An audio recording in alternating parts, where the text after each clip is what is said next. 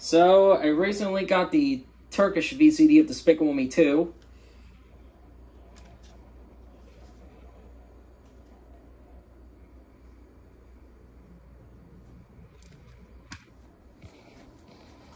Heh.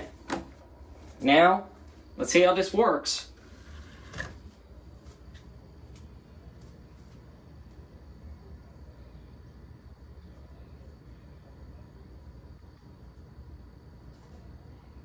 And there you go.